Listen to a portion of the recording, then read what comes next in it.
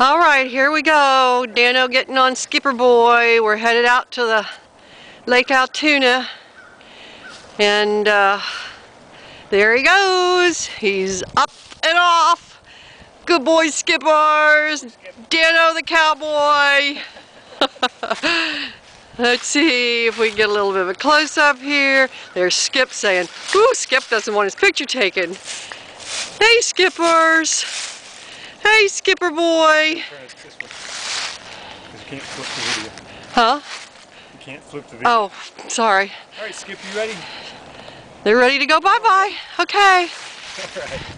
Go ahead, take him out there and I'll be following you. There he goes.